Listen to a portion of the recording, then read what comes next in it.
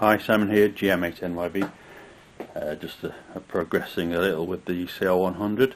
I have now got most of the IF wiring in, in fact all of it I think, but the, all the IF cans in and the passband switch here uh, has been wired up.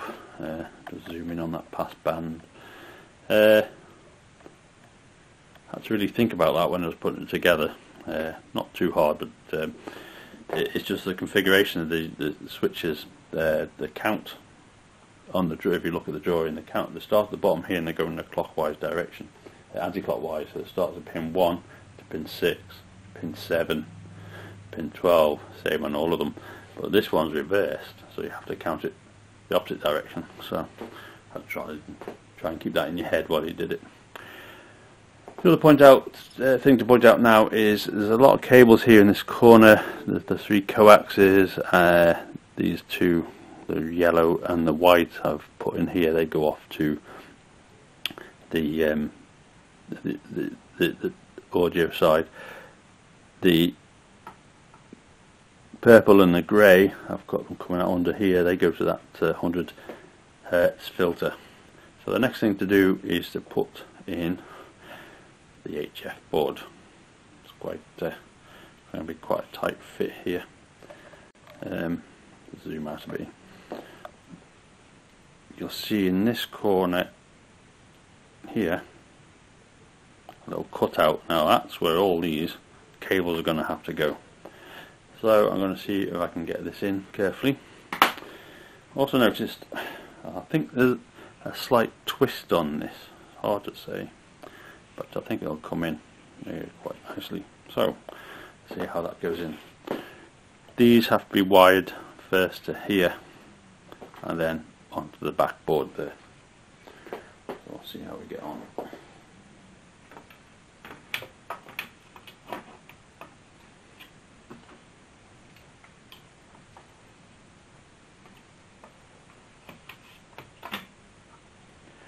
There's also uh, gaps underneath for certain wires to go under. These I think will be going under here. I have to try and fish them out. Now this is the tricky bit here. These cables I don't want to get trapped. So they seem to be not too bad. Yeah, they're quite free there, they're not trapped. This of course is going to sit just over the top of the transformer. That's to go in. So I need to find all the screws that came out of there, try and get them in. Sit it flat there. See that hole's not lined up. I think once I start getting the screws in, you know, they start to pull together there. I also have to watch, I noticed some of the switch wafers on the pass band there's some of the terminals on that side of the wafer were a bit proud. Okay, I think I'll uh, try and get these screws in now. I remember when I took them out, they were quite awkward, especially these ones. It seems to be a small twist on here. Now, use these um, small countersunk machine screws. I see the holes aren't quite lined up, but I'm going to use this, try and move this one into place here. So let's see how we go on here.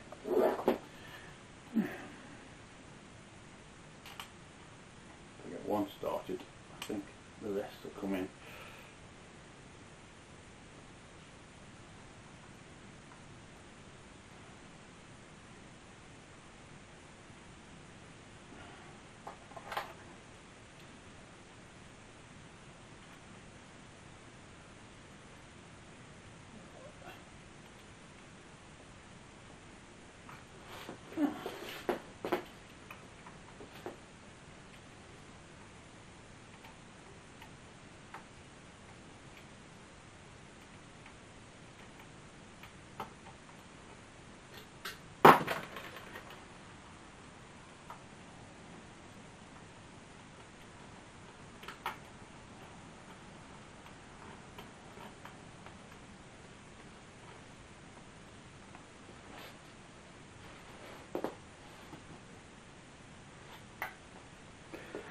That started there.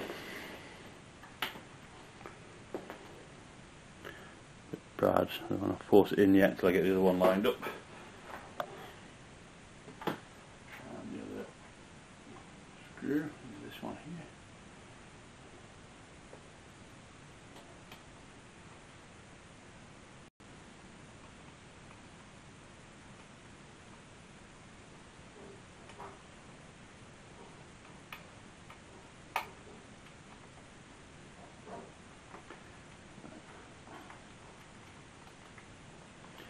That's caught there. I'll stop the video while I put in the rest. There's two to this side to do. Put a strain on it. And there's one here and a couple on the inside there.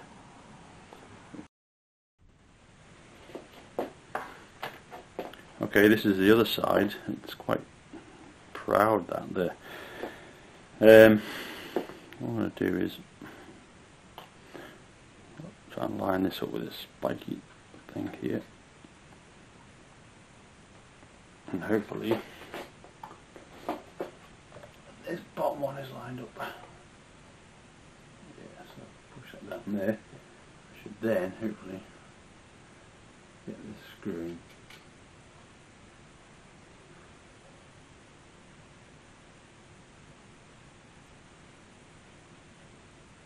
Hopefully.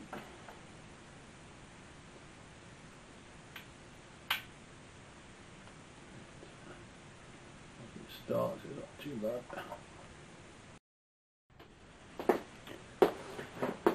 Well, I got that one started there. It was quite tough and couldn't get it started in the top. That's quite tight. I remember when they came out, they were very awkward to get out. So, not the best angle to do this.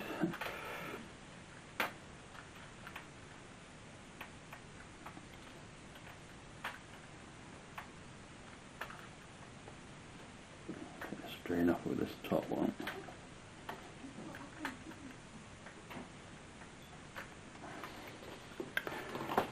Okay, let's get that top one in now. But as luck would have it, I've mislaid it. After all the screws, I kept them all in little bags, and then there's one missing there. I've got the four that go in here. They're self-tappers, but these were the machine screws. So, I'll uh, stop the video there and um, go and look for it. Right, there's a it's very small space here, but there's these um, these are little self tappers, and they go in here. So, see if we can get that one in. These tweezers are very good.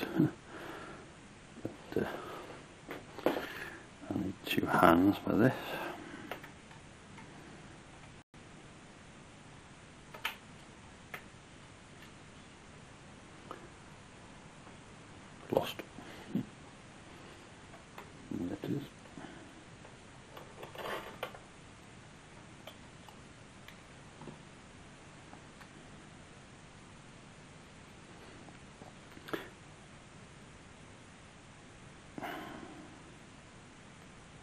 Tricky, I don't think there's any easier way of doing this. It Looks quite lined up that hole, it's just a matter of getting that started.